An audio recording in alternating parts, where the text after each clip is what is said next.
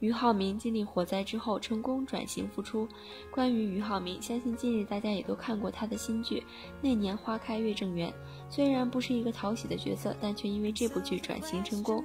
在拍这部剧的时候，俞灏明抱着试试看的心态到了剧组，自己还非常没有自信的心想，自己反正没有参演的可能，就去试试吧。没有想到的是。他云淡风轻的心态让他进入了剧组，俞灏明也表示说：“简直太不可思议了！剧中的杜明礼其实和现实中的俞灏明是有一点相似的，总是带着淡淡的忧伤，因为烧伤而变得不再自信的俞灏明，曾经对外界一再抗拒，出门时总要化厚厚的妆。如今他重拾自信，回到我们大众面前，是不是应该给他点个赞呢？